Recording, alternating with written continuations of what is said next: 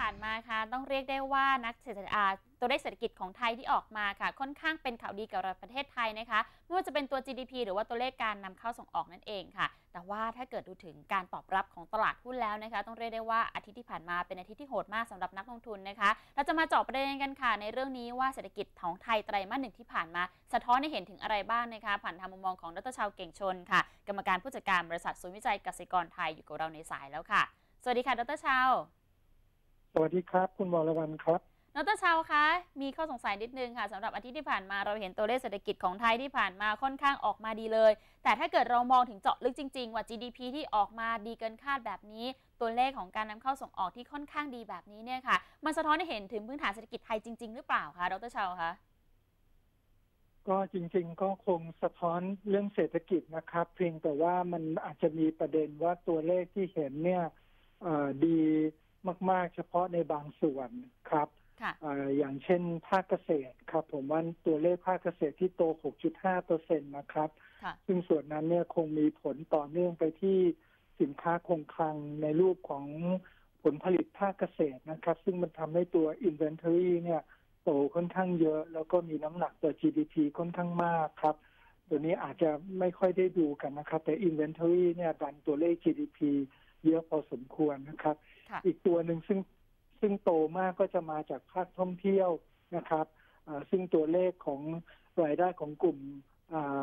โรงแรมแล้วก็พัตตาคารเนี่ยโตเกือบ 13เปอร์เซ็นครับโอ้ส่งออกจริง ๆ โตครับ แต่ว่าตัวตัวสุทธิเนี่ยอ่า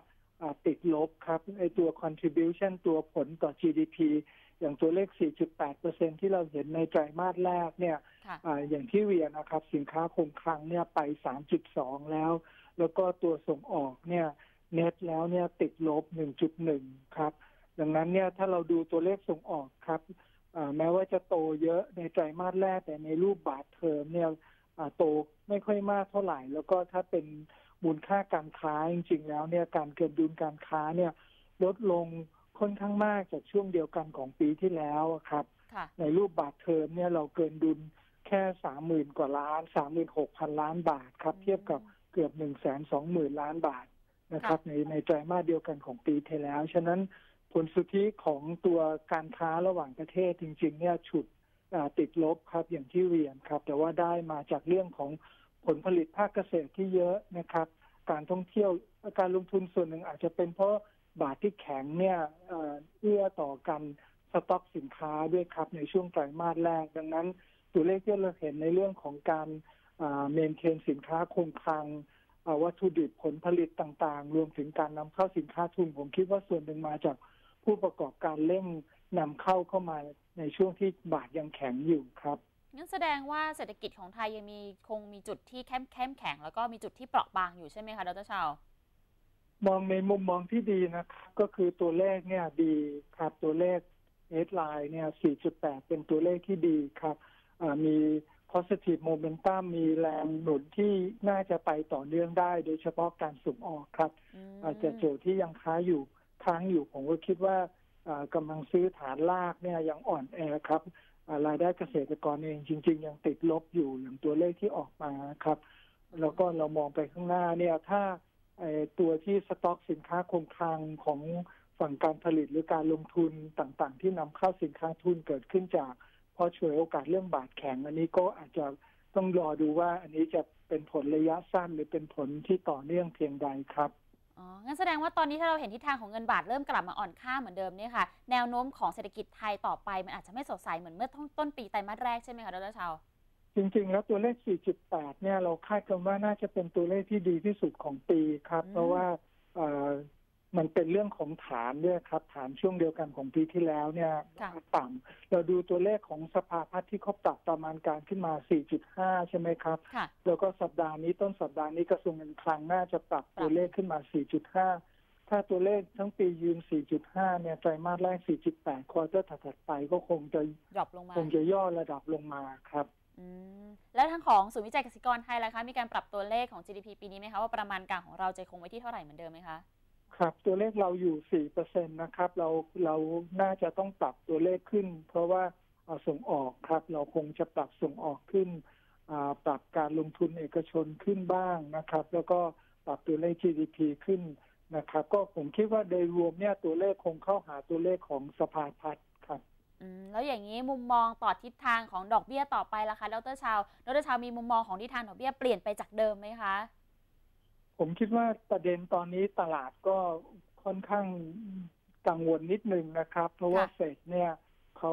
ตัวตัว minutes ที่เขาออกมาเมื่อสัปดาห์ที่แล้วอะครับเขาก็ระบุว่าเขายินดีที่จะปล่อยให้เงินเฟ้อเป้าหมาย เงินเฟ้อเนี่ยทะลุเป้าหมายของเขาไประยะหนึ่งนะครับ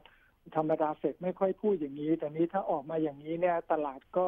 ลดทอนการคาดการณ์การขึ้นดอกเบี้ยของเฟดลงไปอย่างที่เราเห็นนะครับ probability ของการขึ้นดอกเบี้ยในรอบเดือนกันยาแต่ก่อนเนี่ยเป็น 70เปอร์เซ็นเมื่อสัปดาห์ที่แล้วเนี่ยลงมาเหลือแค่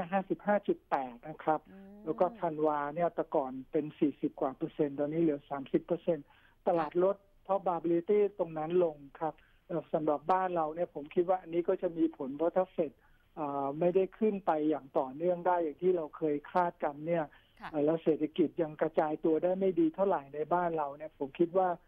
กรงงน่าจะอย่างรอเรื่องดอกเบี้ยได้ครับอืมอย่างนี้แสดงว่าหลาย ๆ อาจจะมีหลายสำนักเหมือนกันนะคะที่เคยคาดการณ์ไว้ว่าช่วงปลายปีนี้เนี่ยเราอาจจะได้เห็นกนง.ของเราขึ้นดอกเบี้ยหนึ่งครั้งก็อาจจะต้องชะลอลงไปเหมือนกันต้องดูท่าทีของเฟดอีกทีหนึ่งใช่ไหมคะอ่าแล้วก็เรื่องน้ำมันนะครับเพราะค่ะว่าสัปดาห์ที่แล้วเนี่ยน้ำมันน้ำมัน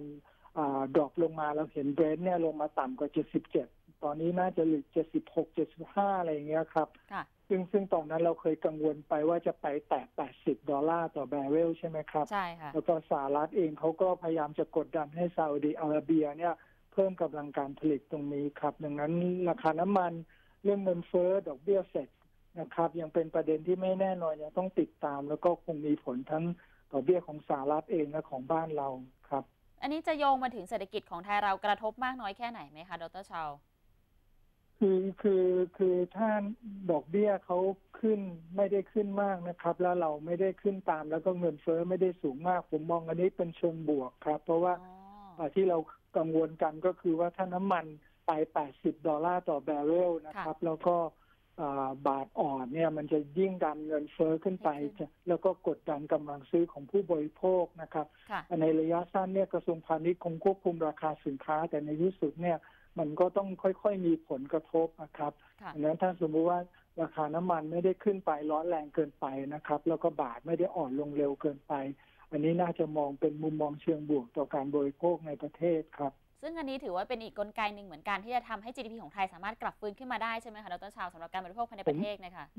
มันก็คือผมมองว่ามันคงไม่แย่ลงแต่ผมไม่ได้คิดว่าจะหวังจากตัวนี้ในเชิงกระตุ้นนะครับค่ะฉะนั้นฉะนั้นเราเรามองแต่เดิมเรามองเรื่องน้ำมันเรื่องเงินเฟ้อเป็นประเด็นที่ต้องติดตามสำหรับ